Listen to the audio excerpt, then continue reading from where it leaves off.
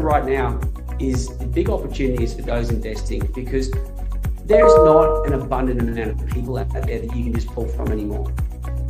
And if you don't have a business that's got the right infrastructure, the right behavior, the right market.